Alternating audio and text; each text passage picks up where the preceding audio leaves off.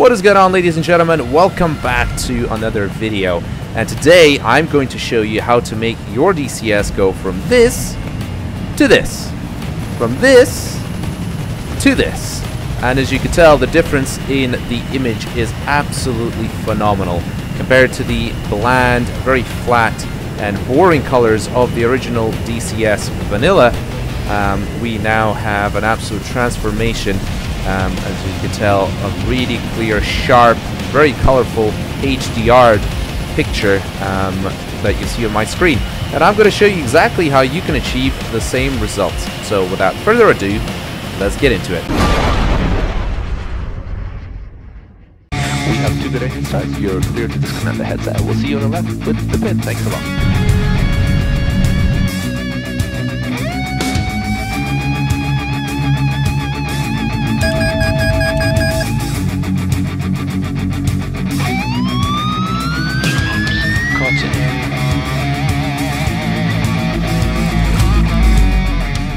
So to make DCS look visually stunning, I would say it's a four-part problem.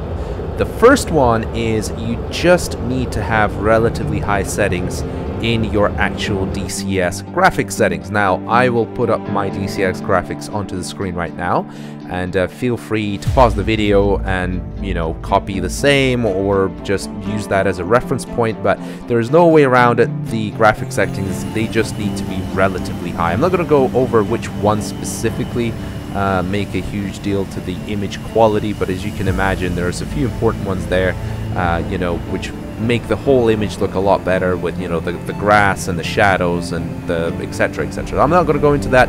That is just a prerequisite for the next three things which make DCS look visually I think uh, pretty stunning compared to well the bland and fairly flat image of the default vanilla game even if you have very high DCS graphic settings you know, the reality is you're still going to be met with something like this.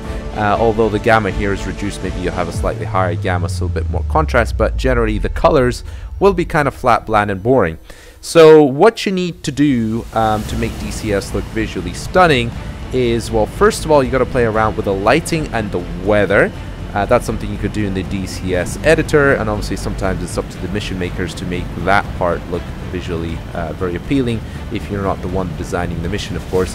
Um, now, I'll cover the weather and the weather mod that I use um, in a separate video because I think that really transforms DCS, or at least adds a whole extra layer of um, visual fidelity, um, certainly in terms of the skyline.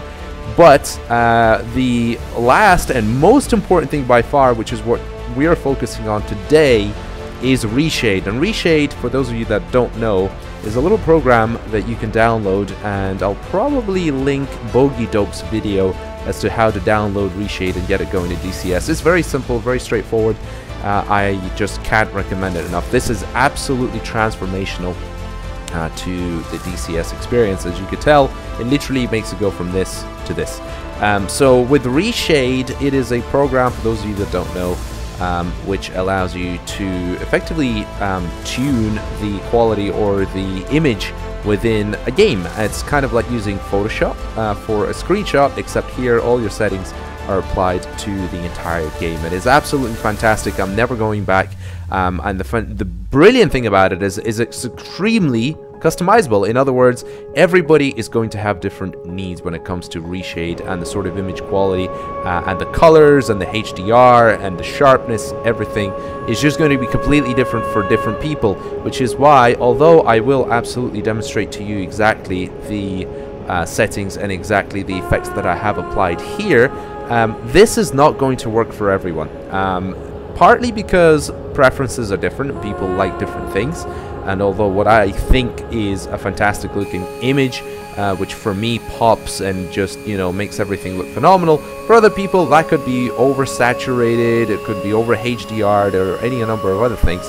But then the other thing of course is your monitor and the monitor makes quite a bit of a difference uh, with your colors. And therefore you know what I see in my screen may appear a little bit differently when you actually watch this video. And therefore you know although you should absolutely maybe use my settings here as a reference point I definitely would say you have to play around with them and you have to tune them because uh, the reality is that the image is just going to look different uh, on different screens for different people. But as you can tell here, I use the curves, DPX, levels, uh, Luma Sharpen, and the Vibrance. And uh, some of these don't really make a huge amount of difference. For example, if I toggle vibrance off and back on. You see, it's fairly subtle, but it does make a good bit of difference. And uh, it's also really good for sharpening. If you use Reshade, instead of going to the DCS settings itself for sharpening, or perhaps even the NVIDIA uh, control panel, it's really good to use Reshade for that matter. And you can do it basically effectively live without having to quit the game all the time. So for example, for sharpening in this image, you'll see that if I switch uh, reshade off right now. If you look at the hangar behind, that maintenance hangar that's behind us, behind the Su-24s there in the background, just look how kind of blurry it is. Now, if I just apply reshade, you'll see everything sharpened right up, and uh, you can really tell the difference there. Uh, so it makes a huge amount of difference um, in, in my personal opinion. And like I say uh, you are more than welcome to pause the video and here are all my effects uh, with all the settings here. I've messed around with it for a very very long time. And this is what I think has, you know uh, effectively made my game look well my personal very humble opinion pretty decent um, certainly compared to the default vanilla DCS. Um, some of you will probably ask whether or not there's any effect on FPS or performance. Uh, personally, I haven't noticed any, although I'm sure maybe there is some. Uh, and I'm sure if you go overboard with the effects uh, in Reshade, that I'm sure it will affect performance. But whatever performance hit there is, it's so negligible that it's just silly to not use Reshade, in my personal, once again, very humble opinion. Now, one thing I will mention is that if you are using Reshade, uh, I really suggest that instead of just kind of using one scene and then picking your best settings, you have to go to different lighting scenarios. You have to go from uh, what could effectively be sort of here, relatively high sun, uh, bright conditions, and then uh, compare that to something uh, where you're flying around at sunset or sunrise where there's a lot of contrast because I guarantee you that you will find that there is no perfect scene that looks excellent with the same settings. You may find something that looks absolutely phenomenal when it's bright and the sun is, you know, uh, sitting at its highest position, and then you go somewhere where it's uh, with the same settings and it's dusk or dawn and I guarantee you'll you'll just be amazed at how awful it looks because it's just way too contrasty or there's just too much saturation in there or whatever it is. So you have to find a balance. So in my opinion uh, I think what you should do is perhaps use the same settings that I have or you're more than welcome to you know play around with extra effects within Reshade. There's plenty to choose from that I don't use and uh, you can play around with them as much as you like of course.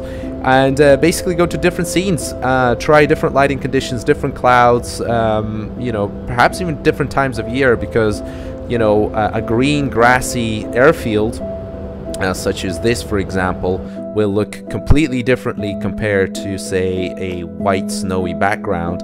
And uh, again you'll notice that in some situations, uh, for example, the fields will just be oversaturated or too green when you zoom out and you have a look at them from up high compared to, say, for example, zoomed in looking at your aircraft sitting on the ramp. So um, I think that would be uh, my suggestions to you is first of all if you haven't got Reshade well you should definitely get it because I think you're missing out on some phenomenal visual fidelity um, certainly that could be improved on dramatically compared to the default game um, and also play around with lighting conditions, play around with the clouds. I think that's really important. If you're designing the mission yourself, then it makes a world of difference, especially when you get rain showers, rainbows, and uh, all these kind of dramatic effects, especially with the rain. I am going to cover the weather mod that I use and uh, give you a little bit more insight into the different lighting conditions that I, I believe you should be kind of choosing or going for if possible uh, to make your DCS look a lot better uh, in another video. So um, with that said, ladies and gentlemen, I hope you've enjoyed this one. I hope it was helpful for you. And if it was, please make sure to smash the living daylight out of the like button. That'd be greatly appreciated. And subscribe for future videos, especially if you want to see my next video about the weather mod that I use. Um, and uh, hopefully I'll catch you in that one. But for now, adios.